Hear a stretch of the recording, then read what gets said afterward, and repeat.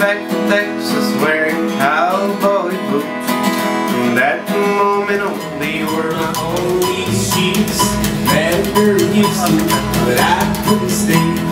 Was the first time I've ever been away.